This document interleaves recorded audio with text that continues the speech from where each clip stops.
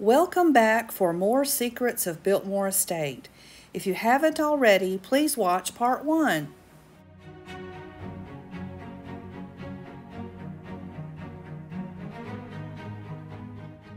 In part two, we go downstairs and then into the private areas of the home upstairs. We are in the basement. This is called the Halloween room.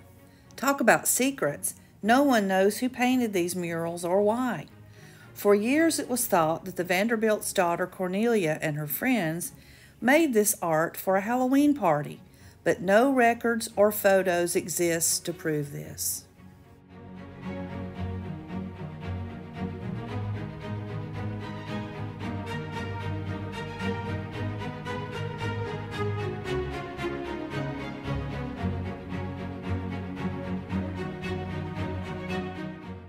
This is the swimming pool at Biltmore. It holds 70,000 gallons of water. It was heated but not filtered. It had to be emptied and refilled every few days. Some say the pool area is haunted, but there are no records of anyone tragically dying here. This is one of several dressing rooms in the pool area. However, the room reserved for George Vanderbilt is the only one with a running water sink.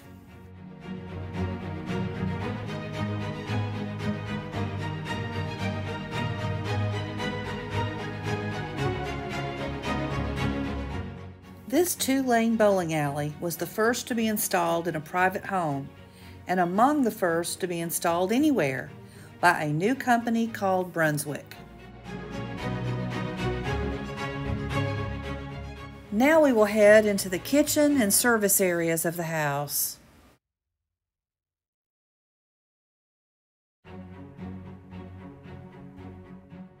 George Vanderbilt and his guests loved to hunt. This rotisserie was busy during hunting season, grilling deer, turkey, and other game.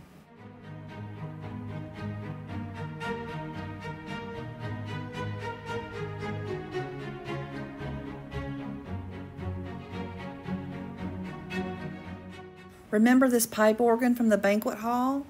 Well, downstairs in the kitchen, this machine provides the air to play the organ.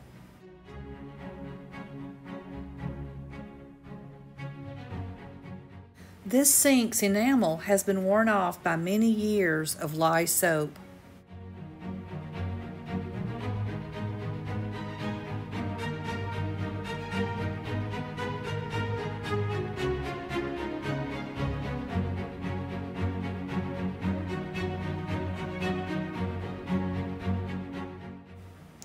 Biltmore's elevator is one of the oldest elevators in the South and the oldest in Asheville, installed in the house in 1895 by the Otis Elevator Company, and it is still in operation today for visitors.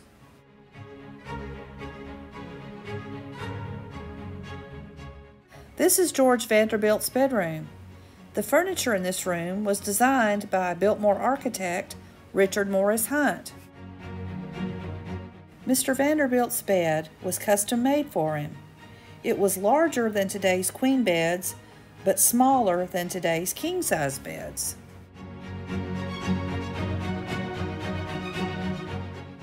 When he moved into the home in October of 1895, his bedroom wasn't yet finished. He had to sleep in the bachelor wing.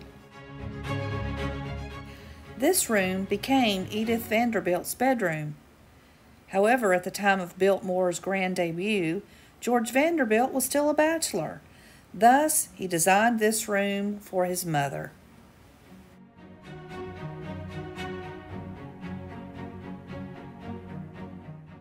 This cozy sitting room was located between their bedrooms and provided a private area for the couple to relax.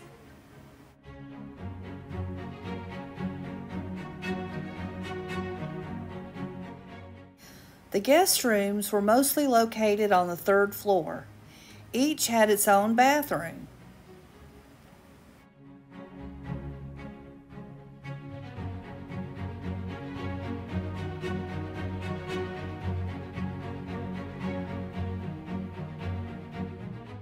This is the third floor sitting room. One interesting fact about this room is that the bookcases were hand me downs. They were originally in George's father William's Fifth Avenue, New York home. They were made by Herter Brothers, furniture maker to the millionaires. As we leave Biltmore, I have one last secret for you. This grassy area, located outside the house and near the gardens, was once a swimming pool, installed by Cornelia long after George Vanderbilt's death. It was filled in many years ago.